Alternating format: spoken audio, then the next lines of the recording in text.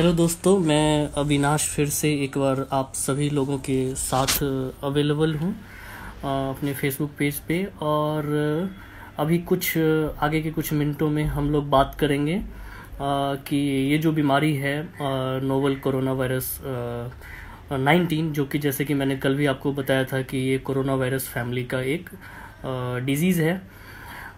तो इसको क्या ऐसा दुनिया के सारे लोग जो है इससे इन्फेक्टेड हो सकते हैं। या फिर ऐसा है कि आ, आ, कितने लोग जो है इससे इन्फेक्शन तो ये हमारे लिए जानना बहुत ज़्यादा ज़रूरी है। तो अगर आप इस चीज़ को अगर आ, समझने की कोशिश करेंगे तो अभी आने वाले कुछ मिनटों में मैं आपको मैथमेटिकल मॉडल के थ्रू समझाने की कोशिश करूँगा कि अगर इसे फ्री फॉल छोड़ दिया जाए यानी कि अगर कोई इंटरवेंशन नहीं हो कोई गवर्नमेंट इसमें किसी तरह का इंटरवेंशन ना हो या लोग इस चीज़ को नहीं मानने के लिए आए तो कितने मैक्सिमम नंबर जो है इससे इन्फेक्टियस हो सकते हैं। और कितने सारे लोग जो है इस चीज़ से आ, मतलब वो मर, मारे जा सकते हैं। और इसमें मैं कई तरह के डेटा अभी उपयोग करने वाला हूँ जिसमें मैं दिखाऊँगा कि हिंदुस्तान का क्या केस हो सकता है पूरी दुनिया है और फिर हम उसको उसी तरीके से समझने की कोशिश करेंगे। Before proceeding further I just wanted to tell you very in very brief that कि आपने सुना होगा कि कभी आप सुनते होंगे कि ये आउटब्रेक होता है एपिडेमिक होता है और पेंडेमिक होता है। ये तीनों क्या चीज़ें हैं? तो सबसे पहले देखिए जब भी कोई बीमारी इस तरह का जहाँ पे भी ये पहली बार मतलब निकलता है जहाँ पे भी ये पहली बार आ, इसका उत्पत्ति होता है तो उसे हम लोग कहते हैं आउटब्रेक तो वुहान एक ऐसा शहर है जिसको हम कह सकते हैं कि ये आउटब्रेक है। लेकिन जब वो वुहान से निकल के अपने आसपास के दायरे का उसी शहर में अगर ये फैलता है तो हम उसे एपिडेमिक कहते हैं। लेकिन जब उसका क्षेत्र या उसका विस्तार जब एक पूरे मतलब महादेश, जो हम कॉन्टिनेंट्स की बात करते हैं, पूरे कॉन्टिनेंट्स से प्रोसीड करते दूसरे कॉन्टिनेंट में पहुँच जाता है तो वो उसे पेंडेमिक माना जाता है। और इसी के वेस पे जो है हम लोग डिसाइड करते हैं कि कौन सा डिज़ीज़ जो है, वो उसका क्या स्टेज है या वो किस तरह का है। क्या वो आउटब्रेक वाले सिचुएशन में है या फिर वो एपिडेमिक है या पेंडेमिक है? तो तीन चीज़ें आपको समझने की बहुत ज़्यादा ज़रूरत है। जब भी कोई बीमारी कहीं पर भी उत्पन्न होता है तो उसे हम उसको आउटब्रेक में काउंट करते हैं। जब वो वहाँ से थोड़ा सा फैलता है, थोड़ी अपने एरिया को कैचमेंट एरिया उसका थोड़ा बढ़ जाता है, जैसे सपोज़ करिए कि कल के टाइम में कोई एक नया बीमारी दिल्ली में फैलता है, और दिल्ली में जब ये होता है तो हम उसे वहाँ पर बोलेंगे कि उसका आउटब्रेक जो था, वो दिल्ली में हुआ था। लेकिन वो जब दिल्ली से निकल के आसपास के एरिया में, जैसे हरियाणा में चला गया, पंजाब में चला गया, और धीरे धीरे करके पूरे हिंदुस्तान में अगर फैल जाएगा तो भारत सरकार का जो एजेंसी है ICMR वो उसे क्या करेगी? उसे कहेगा कि ये एपिडेमिक है इंडिया के लिए एपिडेमिक है, और फिर जब ये इंडिया से निकल के दूसरे देश या दूसरे कॉन्टिनेंट में चला जाता है तो हम इसे एक तरीके का पेंडेमिक कहते हैं। तो जब हम इन तीनों चीज़ों को समझ जाते हैं तो अब आते हैं इस चीज़ को समझने के लिए कि आजकल क्यों कहा जा रहा है कि आप सोशल डिस्टेंस जो है, वो मेंटेन करिए। ये सोशल डिस्टेंस क्या होता है और क्यों इतना हमारे लिए ज़रूरी होता है। ये जानना हमारे लिए बहुत ज़्यादा ज़रूरी है इस वक्त। अगर हम अभी नहीं संभले तो आप समझ लीजिए कि आप मतलब इसको रोक ही नहीं सकते। कल भी जैसा मैंने बताया था, और अभी आगे भी मैं उस चीज़ को कैरी ऑन करने वाला हूँ कि क्यों खतरा है। देखिए, एक चीज़, दो चीज़ों को यहाँ पे अलग अलग करके समझते हैं। यह जो बीमारी है, अपने आप में जानलेवा नहीं है। इसमें सही इलाज, सही टाइम पे नहीं मिलने की वजह से लोग मारे जाते हैं। इसका दर जो है, फैलने का जो दर है, वो काफ़ी ज़्यादा है और इस वजह से ये क्या होता है, ये काफ़ी जल्दी से स्प्रेड होता जा रहा है। तो एक चीज़ मैं आपको बताना चाह रहा हूँ। अभी मैं आपको एक जो लोग मैथमेटिक्स या गणित को समझते हैं, दरअसल मेरा एक और था कि हम गणित के माध्यम से क्यों समझें। तो एक उदाहरण लीजिए, जैसे कि क्या होता है ना कि एक होता है कि अंधेरे में तीर चलाना, और एक होता है कि आपके पास एक नंबर है, जिसके बिहार पे आप बात कर सकते हैं कि एक्चुअल में ये डिज़ीज़ जो है, वो हमारे लिए कितना बड़ा प्रॉब्लम है, और इसको हमें कैसे डील करना चाहिए। अब जैसे सब लोग अभी हाई तोबा मचा रहे हैं कि यार क्या होने वाला है, क्या होने वाला है and they are doing exactly which they should not have been doing मतलब उनको बाहर नहीं जाइए, आज मैं एक वीडियो देख रहा था जिसमें उसको पुलिस वाले कह रहे कि भाई क्यों रोड पे आया? वो कह रहा है कि भाई सब देखने के लिए, माहौल देखने के लिए आया हूँ। यार, माहौल नहीं देखना है। आपको अपने घर में बैठना है। इस वक्त वो बहुत ज़्यादा ज़रूरी है। हमें सोशल डिस्टेंसिंग मेंटेन करना हमें, इनफैक्ट, अपने घर में है और तीन जने हैं तो तीनों जनों के बीच में डिफरेंस होना चाहिए और हमें थोड़ी सी दूरी बरतना चाहिए। तो आइए जल्दी से हम समझते हैं कि इस चीज़ में ये सोशल डिस्टेंसिंग क्यों मैटर करता है। इसको क्विकली अपने डेस्कटॉप पे जो है वो दिखाने की कोशिश करता हूँ। इसको हम यहाँ से डाउन करते हैं। और मेरा वर्ड फ़ाइल एक सेकेंड हाँ ये रहा हमारा। अब जो मेरे सामने में ये ऊपर में देख रहे हैं यहाँ पे क्या हमने लिखा है कि कोविड नाइन्टीन मैथमेटिकल मॉडलिंग तो ये कैसे करता है? डेटा साइंस में हम इस चीज़ को पढ़ते हैं और जो लोग डेटा साइंटिस्ट हैं, जो आजकल आर्टिफिशियल इंटेलिजेंस पे काम करते हैं, वो लोग इस चीज़ को काफ़ी अच्छे तरीके से अपने काम में, उपयोग में लाते हैं। तो यहाँ पे जो देखने वाली बात है, देखिए एनडी का मतलब क्या है? ये एनडी का मतलब हुआ कि number of case on any given day अगर मान लीजिए हम आज की बात करें तो आज जो हमारे पास नंबर ऑफ़ केसेस अगर मान लीजिए हमारे पास ये दस है तो हम उसको हम एनडी से दिखाते हैं। So that is the number of case on a given day अब ये ई e जो है, उसका क्या मतलब है? ई e है कि average number of people someone infected infected is expose to each day यानी अब वो जो मतलब लोग थे, वो कितने लोगों से मिले? अब यहाँ पे एक बेस्ट एग्जांपल हो सकता है, कनिका कपूर का हम ले सकते हैं। तो कनिका कपूर का अगर मैं एक केस मानता हूँ तो उसको हम लिखे, लिखेंगे एनडी में। और ई e का मतलब हुआ कि वो एक मतलब वो जो उनका जो है एक्सपोजर बहुत ही छोटे पीरियड में कितने लोगों के साथ हुआ। तो अगर वो दस लोगों के साथ मिलते हैं तो यहाँ पे नंबर दस होगा, यानी ई इक्वल्स टू टेन हो जाएगा। अब ये ई e बहुत ही बड़ा रोल प्ले करेगा। अभी आप इसको ध्यान से समझिएगा। तो ई e का मतलब क्या हुआ कि आप कितने लोगों से मिल रहे हैं? मतलब कि अब जिसका सोशल मोबिलिटी काफ़ी ज़्यादा है। अब जैसे मैं हूँ, मैं पिछले चार पाँच दिन से लॉकडाउन हूँ, मैं घर के अंदर में हूँ, मैं बाहर नहीं जा रहा हूँ। तो मेरा ई e जो है, वो काफ़ी कम हो जाएगा। ज़ीरो तो नहीं होगा क्योंकि मेरे घर में तीन मेंबर अभी हम साथ में रह रहे हैं। तो मेरा ई इक्वल्स टू थ्री होगा। लेकिन जो लोग एक हैं, दो हैं, लेकिन एक ऐसे लोग हैं जो कि बहुत मतलब मिलते हैं। जैसे कि आप देखते होंगे कि हॉलीवुड के बहुत सारे स्टार हैं या जो उधर के मतलब जो आप एन प्लेयर है यूएस वगैरह में तो उनका सोशल एक्सपोजर जो है वो काफ़ी ज़्यादा है। So they are meeting like you know fifteen twenty fifty people या आप इसका बेस्ट केस एक एग्ज़ाम्पल ले सकते हैं कि अभी जो लोग अभी महाराष्ट्र से जो बिहार गए हैं या दिल्ली से जो बिहार गए हैं तो अब उसमें एक आदमी का अगर ट्रेन में अगर लेट्स से कि सेवेंटी फाइव बर्थ है और उसमें अगर हर बर्थ पे तीन चार लोग बैठे हैं। तो मैं रफली एस्टिमेट लेता हूँ कि ढाई सौ लोग अगर एक बॉगी में जा रहे हैं तो एक बंदे का ई जो है, वो ढाई सौ है। तो ये ई बहुत बड़ा चांस यहाँ पे रोल प्ले करेगा। अब हम बात करते हैं पी के बारे में। ये पी क्या है?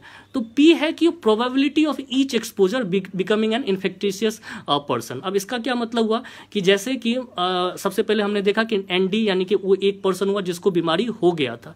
उसका एक्सपोजर अगर मान लीजिए दस लोगों से हुआ तो क्या वो दस के दस इन्फेक्टिशियस हो जाएँगे? ऐसा चांसेस नहीं होता कि वो दस के दस जो है उससे इन्फेक्शन में uh, आ जाएँगे। क्यों नहीं? Uh, क्योंकि उसका एक रीज़न ये होता है कि मे भी कुछ लोगों ने दूरी से ही उनसे मिला होगा। अब हाथ से टच नहीं किया होगा, या उस टाइम जब वो टच कर रहे होते हैं तो स्नीजिंग नहीं कराता तो हो सकता है कि वो सारे के सारे लोग इन्फेक्टिशियस नहीं हो। तो ये पी भी एक बहुत बड़ा रोल प्ले करेगा। अब देखिए कि अब इसका मतलब क्या हुआ कि टोटल नंबर ऑफ़ केसेस क्या होते हैं? तो डेल्टा एन डी से हमने उसको दिखाया है। डेल्टा एन डी का मतलब हुआ कि number of cases on any particular day जो होगा, वो क्या होगा? ई e जो एक बंदा था, उसने पी आदमी से मिला, लेकिन उसके चांसेस जो थे मे भी हो सकता है थोड़ा कम हो। तो एक आदमी दस आदमी से मिलता है तो हम ए, एक गुना दस कर लिया दस आ गया। लेकिन हो सकता है उसमें से सिर्फ़ चार लोग जो है वो इन्फेक्टेशियस होंगे। तो उसको हम एक वटा चार से दिखाएँगे और इस तरीके से हम यहाँ पे इन तीनों को मल्टीप्लाई करते हैं। तो ये अब मल्टीप्लायर इफ़ेक्ट में चला जाएगा। तो ये समझिए आज का हुआ। अब अगले दिन क्या होगा?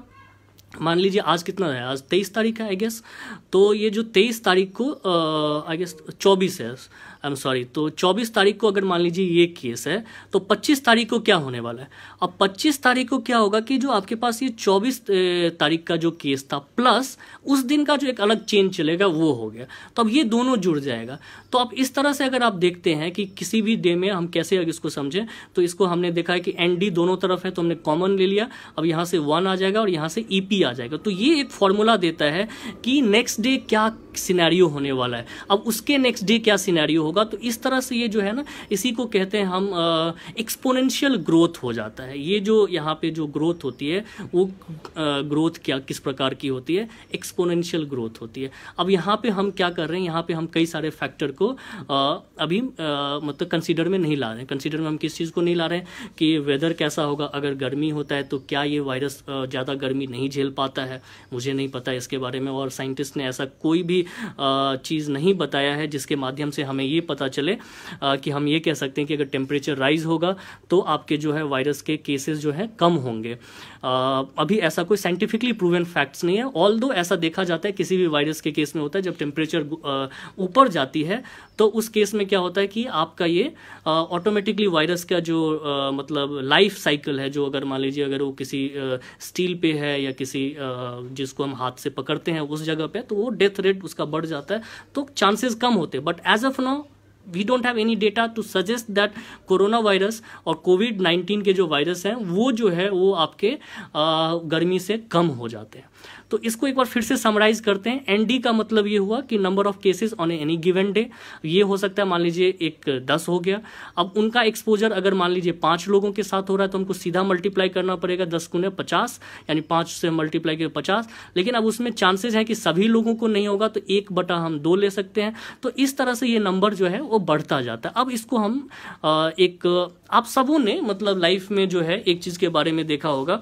और वो क्या था कि आपने दो चीज़ों के बारे में सुना होगा। एक होता है कंपाउंड इंटरेस्ट और एक होता है सिंपल इंटरेस्ट सिंपल इंटरेस्ट और कंपाउंड इंटरेस्ट में क्या डिफरेंस है? अगर आपने जिसको हिंदी में हम समझते हैं साधारण ब्याज और चक्रवृद्धि ब्याज।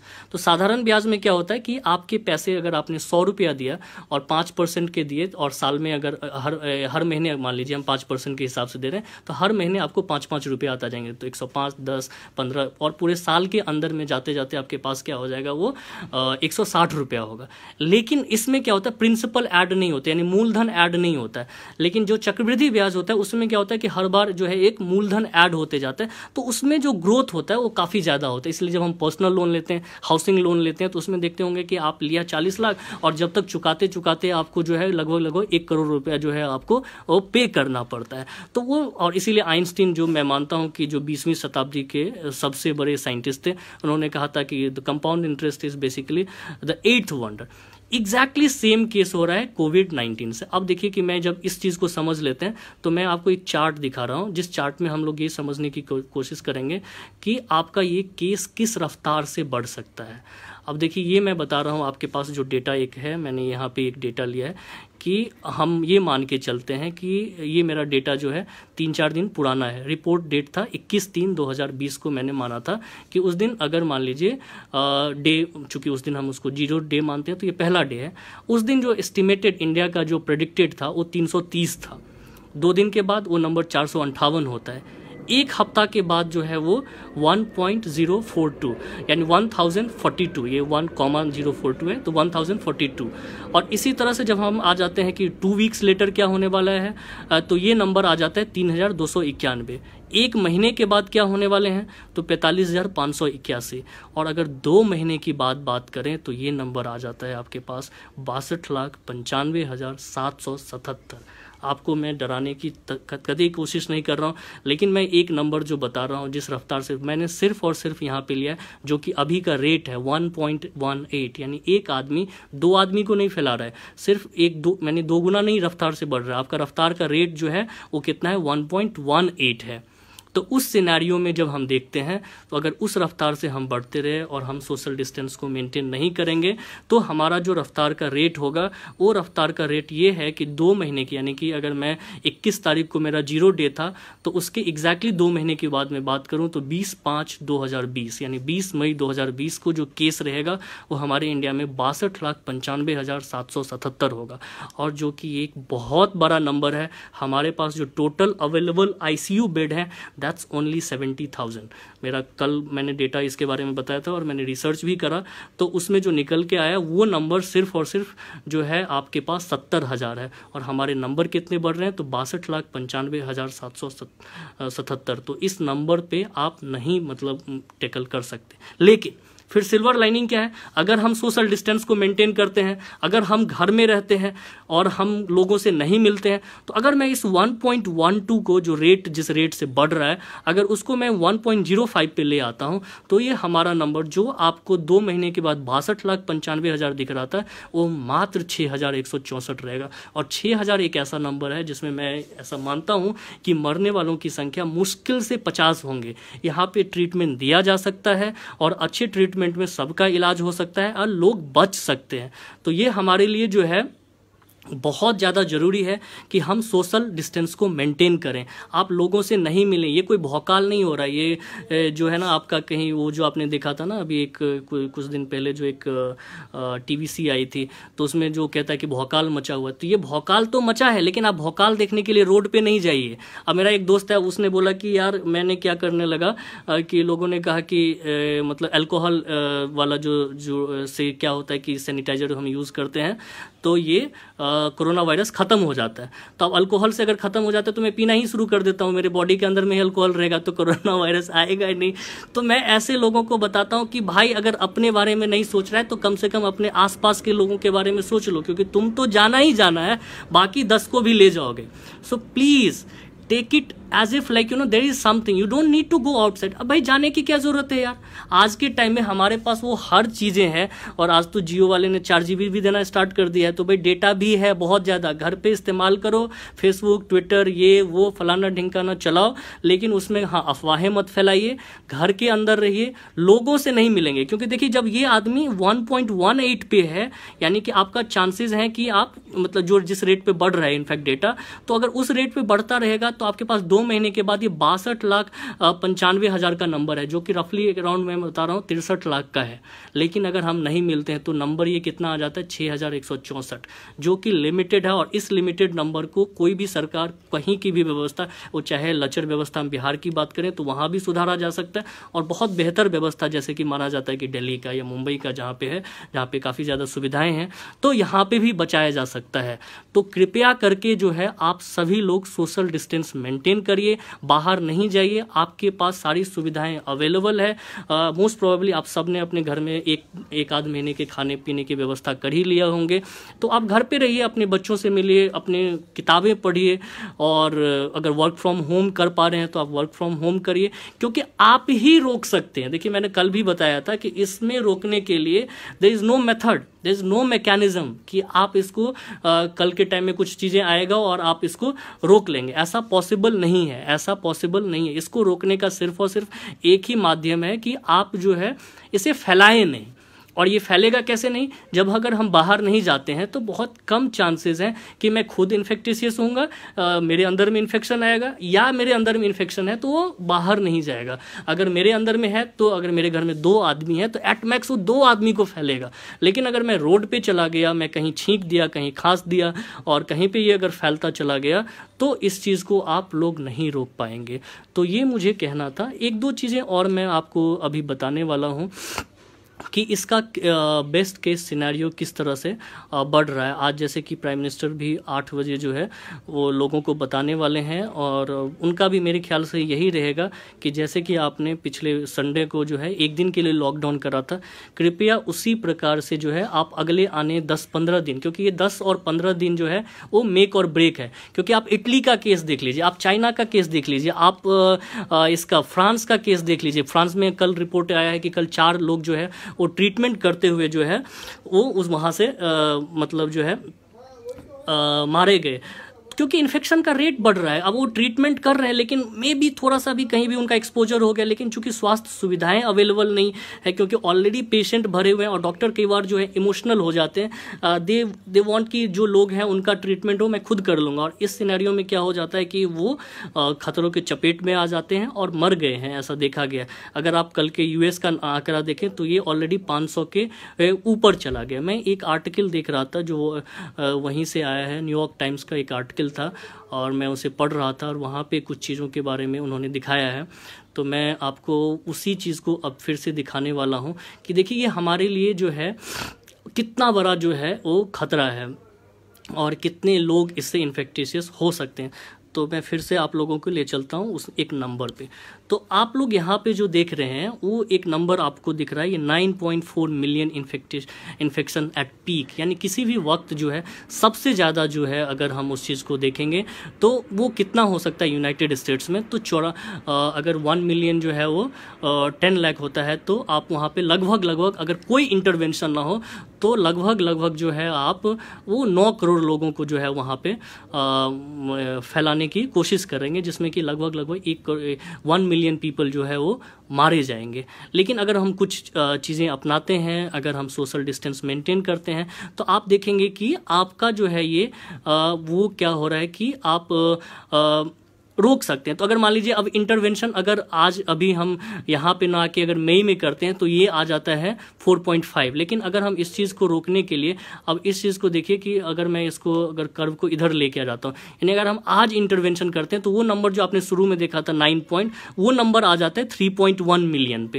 यानी अगर आज इंटर और ये इंटरवेंशन क्या है? Social distancing social distancing and social distancing social distancing का मतलब होता है कि आप घर में रहें, आप लोगों से नहीं मिलें। अगर आप नहीं मिलेंगे पहुँचेंगे तो अगर आपके अंदर में है तो लोगों तक नहीं पहुंचेगा लोगों में है तो आप तक नहीं पहुंचेगा। लेकिन जब हम इसी इसी येलो कर्व को येलो लाइन को जो है, अगर हम थोड़ा आगे लेके जाते हैं, यानी कि हम इसको थोड़ा अप्रैल में लेके आते हैं तो देख रहे हैं ये थ्री पॉइंट टू पे जाता है। अगर हम इसको थोड़ा सा और आगे लेके जाते हैं तो ये बढ़ता जाता है। तो आप ऐसे समझ लीजिए कि अगर मैं जाके एक महीने के बाद उस चीज़ को करता हूँ तो कितने चांसेज हैं? यानी चार four hundred forty forty eight thousand इसका मतलब हुआ चार लाख अड़तालीस हज़ार लोग जो है मारे जाएँगे, जबकि फोर पॉइंट टू मिलियन लोग जो है इन्फेक्शन के अंदर में होंगे। और ये कब की बात कर? रहा हूँ मैं कर रहा हूँ कि मिड अप्रैल एंड या मई फ़र्स्ट वीक के बारे में बात करूँ अगर तब इंटरवेंशन होता है। तो जितने देरी से आप इंटरवेंशन करेंगे ये चांसेस हैं कि ये जो देख रहे हैं कि पीक पे बढ़ता जा रहा है और नंबर ऑफ़ डेथ यहाँ पे आपको दिख रहा होगा कि ये बढ़ रहे हैं। तो बेहतर है कि हम अभी करें। अगर मैं इस चीज़ को अभी करता हूँ जितना पहले कर सकें। आप अगर कल करना चाहें तो, तो कर नहीं सकते थे। अब जो हो चुका है वो तो हो चुका है लेकिन आज भी हमारे पास वक्त है। इंडिया के लिए मैं अगेन एंड अगेन कहता कि next seven day is very crucial next seven day is very crucial आप जहाँ हैं, वहीं रुक जाएँ। कुछ नहीं होने वाला है। अगर आपके पास खाने की नहीं सुविधा होगी तो गवर्नमेंट या बहुत सारे एजेंसी हैं जो आपके घर तक खाना पहुँचाएँगे। आप कुछ नहीं करिए, मेरा नंबर नोट करिए।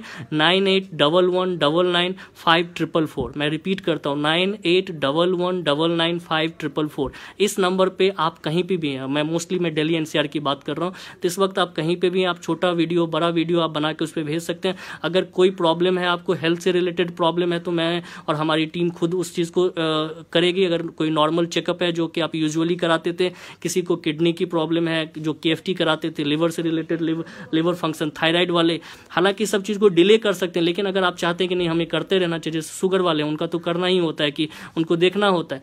आप उसी नंबर पे nine eight double one double nine five triple four पे भेज दीजिए। हम किसी न किसी को आपके यहाँ भेज देंगे और आपका टेस्ट होगा।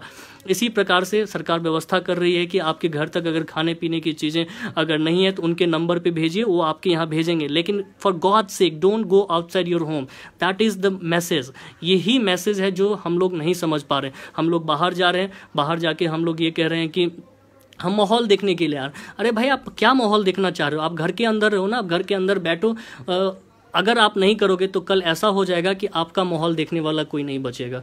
मैंने आपको अभी अभी नंबर बताया था कि अगर हम जो जिस चीज़ के बारे में बात कर रहे थे कि यहाँ पे, इस चीज़ को अगर हम देखते हैं कि ये किस प्रकार से बैठता है, ये जो हमने नंबर देखा था, ये किस तरह से मल्टीप्लायर इफ़ेक्ट होता है, उसी नंबर को यूज़ करके एक चार्ट यहाँ पर बनाया गया था। जो चार्ट के हिसाब से अगर हम देखें तो हमने ये देख रहे थे कि अगर कोई ढंग से इंटरवेंशन नहीं हुआ, अगर हम लोगों ने उस चीज़ को नहीं माना तो end of the sixty days यानी मेरा ज़ीरो डे था twenty first March two thousand twenty तो twenty fifth twenty May two thousand twenty को जो है ये केस तिरसठ लाख के आसपास होगा। लेकिन अगर उसी चीज़ को कंट्रोल करते हैं तो ये नंबर्स छः हज़ार एक सौ चौंसठ पे ही रुक सकता है। छः हज़ार एक सौ चौंसठ कोई बड़ा नंबर नहीं है। Uh, अभी जो है उस चीज़ को ट्रीटमेंट uh, किया जा सकता है और उसका इलाज किया जा सकता है। अब एक और चीज़ की तरफ़ जो है मैं आपको ध्यान दिलाना चाहता हूँ जो इस डेटा से बाहर अगर मैं निकलूं तो एक और चीज़ जो है वो उसके बारे में हम लोग बात करते हैं। अब वो चीज़ क्या है कि अभी आपने सुना होगा कि एक जो मलेरिया के लिए जो मेडिसिन प्रिस्क्राइब किया गया है आ, उस चीज़ की होर्डिंग स्टार्ट हो गई है सैनिटाइजर नहीं मिल रहे हैं मास्क नहीं मिल रहे तो मैं इन तीनों तीन चीज़ों के बारे में बताना चाहता हूँ। जो हाइड्रोक्सिल ग्रुप का वो मेडिसिन है उसके सिर्फ़ और सिर्फ़ एक चीज़ है कि वो मेडिसिन कृपया करके ऐसा ना करें कि आप अपने पड़ोस के मेडिकल स्टोर पे जाएँ और वहाँ से किसी वजह से ले लें और रख लें। मेरे कई सारे अभी एक फ्रेंड था जो जो मुझे जानते हैं और वो डायग्नो इसमें मेडिसिन के बिज़नेस में है तो उन्होंने कहा था कि भाई मैंने बहुत ज़्यादा स्टोर कर लिया मैं उनको यही बताया और आप सबको भी यही बताना चाहता हूँ कि आप इसको स्टोर नहीं करिए, क्योंकि अगर इस चीज़ का आप इस तरह से लेते हैं, जैसे हम ओटीसी होता है, यानी ओवर द काउंटर जो मेडिसिन मिलते हैं, जैसे कि आप कोई मतलब ये वाला ले लेते हैं मतलब क्या कहते हैं इसका निसी प्लस ले लिया या फिर आपका सेरेडॉन ले लिया। इस तरह की दवा नहीं है कि हमें बुखार हुआ और हमें लगता है कि यार मेरे को तो कोविड नाइन्टीन भी हो सकता है तो मैं वो मेडिसिन ले लूँगा और मैं ठीक हो जाऊँगा। प्लीज़ ऐसा नहीं करें, क्योंकि वो मेडिसिन बिल्कुल कंट्रोल इन्वायरमेंट में दी जाती है। और डॉक्टर के प्रिस्क्रिप्शन पे ही देना चाहिए। हालाँकि हमारे इंडिया में रूल तो होता नहीं है कि डॉक्टर के प्रिस्क्रिप्शन पे मेडिसिन मिलेगा तो यहाँ तो कोई भी मेडिसिन कभी भी ले सकते हैं। तो मेरा ये कहना है कि आप अगर ऐसा सोचते हैं कि मैं जाके ले लूँगा और मैं सेफ़ हो गया हूँ तो नहीं, इसका सेफ़ सिर्फ़ एक चीज़ पे है सोशल डिस्टेंसिंग पे। तो वो मेडिसिन अगर आप सेलर हैं मेरे कई सारे फ्रेंड मेडिसिन के बिज़नेस में तो मैं उनको भी बताना चाहता हूँ कि डोंट डू दिस क्योंकि ये किसी भी वे में आप ह्यूमैनिटी को सर्व नहीं कर रहे हैं you are doing something very mischievous जिसके कि बहुत ही गंदे परिणाम आ सकते हैं। तो एक तो वो बात था दूसरा बात मैं कह रहा हूँ मास्क की क्या ज़रूरत होती है? देखिए मास्क जो है आ, वो कई स्टेज में कई प्रकार के चीज़ों में यूज़ करते हैं। जैसे अभी आपने देखा होगा कि उस दिन पहले दिल्ली में क्या हुआ था कि पोल्यूशन काफ़ी बढ़ गया था। तो पोल्यूशन में भी मास्क लगाया। वही मास्क अभी बीमारी बढ़ गया तो वहाँ पर भी लगा रहे तो प्राइमरली जो मास्क का मतलब होता है कि जो आपका यहाँ का जो एरिया है इस एरिया के थ्रू जो है, यानी कि ये नोज़ हो गया, ये आपका माउथ का एरिया हो गया। इस एरिया के थ्रू जो most of the virus bacteria या जो भी गैसेस वगैरह हैं, वो इजीली आपके अंदर में चले जाते हैं, क्योंकि ये दोनों पाइप होते हैं और वो आपके लंग्स के थ्रू स्टमक तक पहुँचते हैं। तो यहाँ क्या है कि इस चीज़ में हम नहीं करें। होता क्या है जनरली हमारे हाथ ऐसे खुलते रहते हैं और बहुत देर के बाद हम लोग ऐसे कर लेते हैं। ऐसा करना हमारा जो है ना, ये हम सब की दिनचर्या में है और हम लोग करते हैं। तो जब मास्क रहेगा, अब सोचिए अगर इस एरिया में मेरा मास्क है, मैं आपको दिखाना चाहता हूँ। अब ये हमारा मास्क है। अगर मैं इस चीज़ को मास्क को यहाँ पे अगर मैं रख लेता हूँ तो इस एरिया में अगर मैं इसके ऊपर से हाथ को करूँगा तो वो हाथ हमारे अंदर में नहीं जाएगा। तो इसलिए ये हमारे लिए ज़रूरी है। तो वो ज़रूरी अब मुझे कोई है नहीं बीमारी तो मेरे लिए ज़रूरत नहीं है कि मैं मास्क लगाऊँ। हर किसी के लिए ज़रूरत नहीं है। हाँ लेकिन अगर जो कोई छींक रहा है तो वहाँ पे ये ज़्यादा ज़रूरी हो जाता है कि वो अपने अंदर तो जिनको ये इन्फेक्शन है, जिनको ये लगा है कि इन्फेक्शन हो गया है, वो कृपया मास्क लगाएँ। अगर मास्क नहीं है तो आप देखिए, ऐसे कुल्हर को, कुल्हे को कीजिए और आप ऐसे कर सकते हैं। तो इससे क्या होगा कि आपके यहीं पे रुक जाएगा। ये आपके बॉडी यानी इस हाथ पे नहीं आएगा, जो कि आप फिर किसी चीज़ को टच करेंगे और उससे वहाँ पे ट्रांसमिट होगा। तो ये बहुत ज़्यादा ज़रूरी है। छोटी चीज़ें हैं, लेकिन चूँकि हमारे सिस्टम में इस तरह से इनकॉर्पोरेट हो गया है कि हम इस चीज़ को ध्यान नहीं देते हैं तो ये बहुत ज़्यादा ज़रूरी sanitiser not necessary at all क्यों सैनिटाइजर की ज़रूरत है? सैनिटाइजर उस वक्त के लिए ज़रूरी होता है, जैसे मैं घर से बाहर निकलता हूँ, मैं काम करने के लिए जाता हूँ, जैसे मेरे जो फ्लेबोटॉमिस्ट हैं, जो सैंपल कलेक्शन के लिए जाते हैं, उनके लिए ज़रूरत है। क्योंकि they they can wash their hands at every place वो हर जगह जाके साबुन लेके हाथ नहीं धो सकते। लेकिन मैं घर में हूँ तो मेरे पास साबुन है, मेरे पास सोप है जिसको मैं यूज़ करके जो है हाथ धो सकता हूँ। तो मेरे लिए हैंड सैनिटाइजर ज़रूरत नहीं है। तो अगर आपके पास हैंड सैनिटाइजर नहीं है और आप इस बहाने रोड पर निकल रहे हैं तो कृपया करके ऐसा नहीं करें। हैंड सैनिटाइजर की घर में कोई ज़रूरत नहीं है। ये सिर्फ़ उन लोगों के लिए ज़रूरत है जो बाहर जाते हैं और उनके पास हर वक्त हाथ धोने की सुविधाएँ नहीं होती है। तो जो अल्कोहल वाला होता है, क्योंकि अल्कोहल स्प्रेड स्प्रेड बहुत जल्दी करता है। जो उसमें केमिकल होते हैं, आपके हर तरफ़ आपके जो हैंड में होते हैं, वहाँ फैलते हैं। तो उसमें मदद करता है हमें और उस इन्फेक्शन को ख़त्म करता है। तो ये बहुत ज़्यादा ज़रूरी है कि हमारे लिए हैंड सैनिटाइज़र रखना ज़रूरी नहीं है। हमारे लिए जो है आपका मास्क रखना ज़रूरी नहीं है। हमारे लिए जो है, वो हाइड्रोक्सी ग्रुप का जो मेडिसिन बताया गया था, वो स्टोर करने की ज़रूरत नहीं है। क्योंकि ये तीन चीज़ें मैंने अभी देखा कि बहुत सारे लोग चूँकि हम खुद इस प्रोफेशन में हैं तो हमने देखा कि बहुत सारे ऐसे लोग हैं जो माल प्रैक्टिस के करने के लिए उस चीज़ को होर्डिंग कर रहे हैं। दैट्स नॉट नेसेसरी आप मत करिए। आप ऐसा चीज़ बिल्कुल नहीं करिए। इससे क्या हो रहा है कि एक तो आप मार्केट में पैनिक क्रिएट कर रहे हैं और जो है और इसका कोई यूज़ नहीं है। मतलब एंड यूज़ जो अगर हम समझें तो मैंने आपको जैसे बताया है कि देखिए मास्क का क्या यूज़ है? मास्क का बस वो है कि इस एरिया को कवर करे ताकि आप अगर कहीं से टच करके भी आ गए हैं तो आप यहाँ ना छू लें या आपके थ्रू ये बाहर नहीं निकले। तो अगर हम घर के अंदर हैं और मेरे अंदर में कोई इन्फेक्शन नहीं है और मुझे ऐसा कोई चीज़ नहीं लगता है कि आ, ऐसा कुछ होने वाला है तो हमें क्या ज़रूरत है? हमें हैंड सैनिटाइज़र की कोई ज़रूरत नहीं। हमें हैंड सैनिटाइज़र की तब ज़रूरत होगी जब हम बाहर निकलेंगे और हम अलग चीज़ों को छुएँगे और वहाँ हमारे पास हाथ धोने की व्यवस्था नहीं होगी। To cut this long story short मैं एक बार फिर से तीन चार चीज़ों जो मेन मेरा uh, आज का आप सबों से जुड़ने का जो मेन मकसद था उसके बारे में मैं बताना चाहूँगा। पहला चीज़ जो मैंने आपको बताया कि देखिए कोई भी जो डिज़ीज़ होता है वो तीन स्टेज से होके गुजरता है। आ, या तीन कैटेगराइजेशन होती है। तो पहला कैटेगराइजेशन जो होता है वो होता है हमारा आ, आपका ये आउटब्रेक होता है, यानी जहाँ सबसे पहली बार वो निकलती है। फिर जब वो अपने आसपास के एरिया में फैलता है तो हम उसे एपिडेमिक कहते हैं। मुझे हिंदी इसका अभी पता नहीं है तो जो लोग को पता है, वो कृपया कमेंट बॉक्स में कमेंट कर सकते हैं। और उसके बाद जब ये कॉन्टिनेंट को क्रॉस कर जाता है तो हम उसे पेंडेमिक कहते हैं। अब ये बीमारी पेंडेमिक के स्टेज में है, जहाँ ऑलमोस्ट मैंने कल भी आपको ग्राफ में दिखाया था कि सारे कॉन्टिनेंट को कवर कर चुका और इसीलिए इसको पेंडेमिक कहा जाता है। दूसरा बात जो मैंने बताया कि जो सोशल डिस्टेंसिंग है social distancing is the need of the hour ये एक ऐसा है जिसे आप इस चीज़ को जितना पालन करेंगे। जो लोग भी, ये मेरे वीडियो जैसे कल भी बहुत लोगों ने शेयर करा था और बहुत सारे लोगों ने व्यू भी करा था तो मैं उन सब लोगों को और आज भी ये बताना चाहता हूँ कि अगर आप इस चीज़ को रोकेंगे तो रोक सकते हैं। मेरे जो शुरू से जुड़े हैं, उनको पता होगा कि मैंने आपको एक नंबर बताया था, एक मैथमेटिक्स बताया था, इस नंबर के डेटा साइंस बताया था, जो कि एक एक्यूरेट नंबर होता है। तो उसमें हमने देखा कि जो 1.18 का अगर हम मल्टीप्लायर फैक्टर लेते हैं तो ये नंबर टू मंथ्स के बाद तिरसठ लाख पे आ जाएगा और उस वक्त कोई नहीं रोक सकता है इस चीज़ को। आप जब तिरसठ लाख के नंबर पे खड़े होंगे तो उस वक्त आप ये मान के चलिए कि 10 से 15 लाख लोगों की डेथ होना निश्चित है। इसलिए नहीं कि उसको कोरोना वायरस था और कोरोना वायरस डेडली है। उसको किसी भी तरह का इलाज नहीं मिला। उसको किसी भी तरह का इलाज नहीं मिला, इसलिए वो मारा जाएगा। तो ये बीमारी अपने आप में लाइलाज नहीं है इसको हम रोक सकते हैं।